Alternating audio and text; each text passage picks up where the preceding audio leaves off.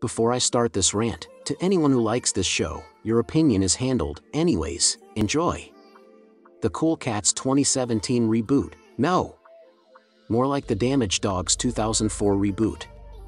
Oh my god, this show sucks so horribly hard, it's a huge disgrace.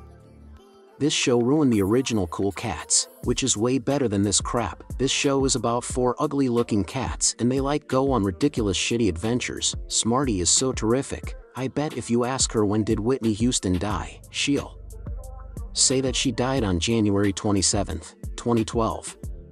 Well, she's a dirtbag for saying that. Kitty is a huge crybaby, Catnap is very very ugly, and he looks like a dirty neglected taxi driver, and Wildcat is so ugly and unlikable, and he looks like an idiotic street thug.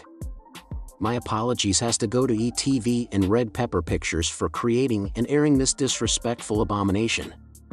The production is horrible, the designs are creepy, the stories are very lame, and is also absolutely nothing compared to the stories from the original. The music is boring and overused, the theme song is terrible, the creators, writers, producers, directors and voice cast are absolutely nothing but huge jerks, and the characters are shitheads.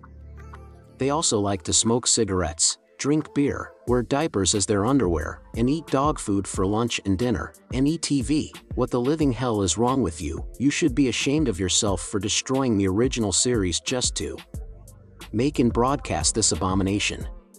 So screw the Cool Catz 2017 reboot, and screw Ubatina Wethu.